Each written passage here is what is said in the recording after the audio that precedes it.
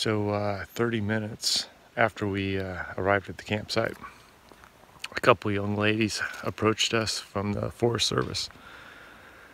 And they were just greeting us and welcome, welcoming us to the area. And uh, told us that we could have a campfire, which was nice. And we, we chatted for a few minutes about the area. And then right before they were going to leave, I asked them, have you guys seen or heard any Bigfoots up in this area? And they both started laughing. But uh, the one that's obviously in charge turned back and told me, you know, she's heard stories up around the Kettle Falls area. And I'd probably have better luck up there. But she didn't go into any more details and uh, they just smiled and walked off. So even the Forest Service up here has uh, heard stories. So I thought that was kind of cool. Just wanted to share that.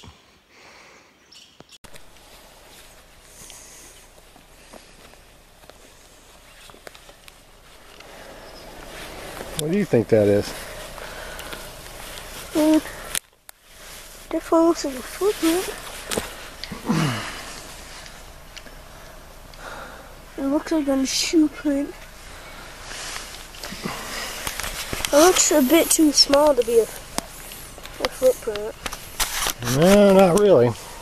Or a, a Bigfoot footprint.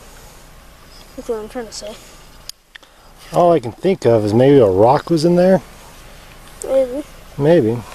I mean, they m- probably took a rock from there and put it in the campfire. Maybe. Yeah, a ton of firewood up here. So just up from our camp here, there's this old, uh, looks like an old road at one point. If anything came down, be a nice observation point to watch somebody's camp. But we found this one impression. Now, my uh, first guess would have been there was a rock um, removed here, but I do not see any large rocks misplaced around here that even have that shape. And I don't see any wood either. But um, let's just hypothetically say this is a track. We're looking at about 14, I'd say a good 14 inch impression here. And uh, it's about, I'd say about five and a half inches wide. And at least an inch and a half deep. Now, I'm not for certain, but there could be some digits there, but hard to say. I do have some plaster mix. I might just cast it. Um,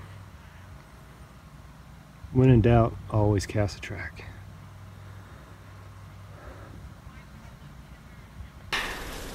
So we're going to cast this impression here and uh, see what kind of details come out of it.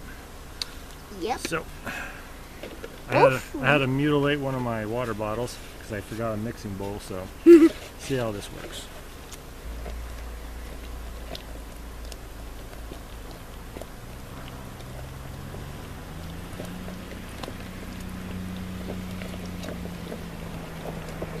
Oh, so gross.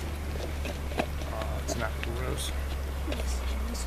I mean, it probably doesn't look gross for you because you've been doing this for how many years? Almost 13, 14 years. Nice. I'll be in the tent if you need me. Doing this before you were born.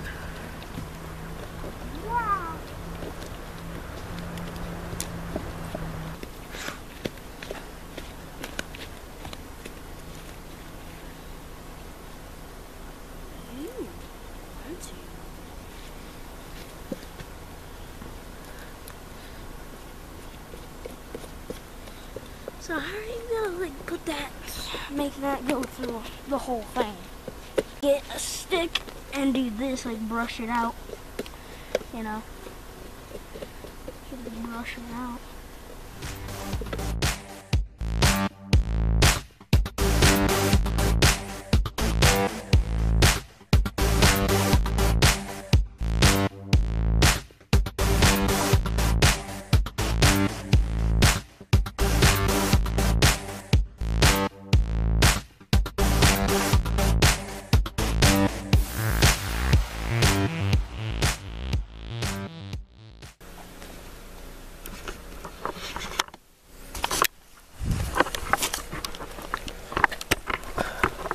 So the impression's cast.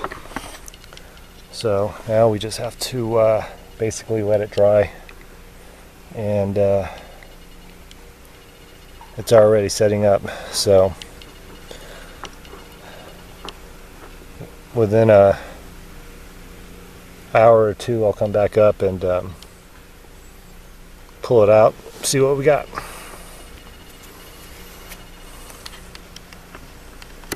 Then, Now picture this.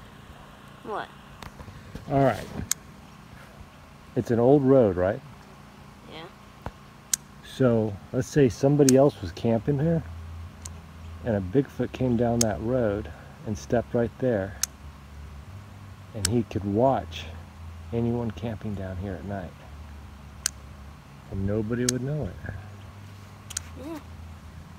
Or maybe since you like you said it's an old road, maybe the person that was camping here before went up there and then maybe something happened. Maybe. And then that footprint might have been the only thing left of them. Maybe. But your idea, your um, thing, sounds a bit more realistic. So we are camping up here in Sand Canyon just outside of Chewelah, Washington. And we're only out here for one day. But the last few days there's been uh, a few reports of vocalizations. So I have deployed two digital recorders out. So hopefully we will capture something tonight we've already heard one vocalization of a, of a howl type going in the direction of uh, Phillips Lake. So hopefully tonight we'll we'll hear something and be able to capture it. We might have an adventure tonight. We might have an adventure tonight. This is Ezra, my grandson. We're out here. We're out here for one day, and uh, just exploring and having a good time. Hopefully we don't die. Hopefully we don't die. We'll see um, or we get attacked by a big Bigfoot. Let's hope we don't get attacked by a Bigfoot. Unless I'm filming. If we're filming, then yes, we do want to see Bigfoot. Yeah. If And- we're not filming, then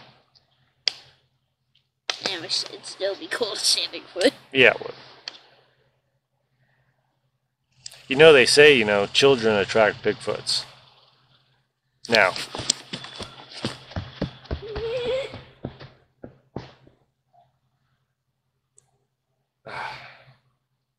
I like this job.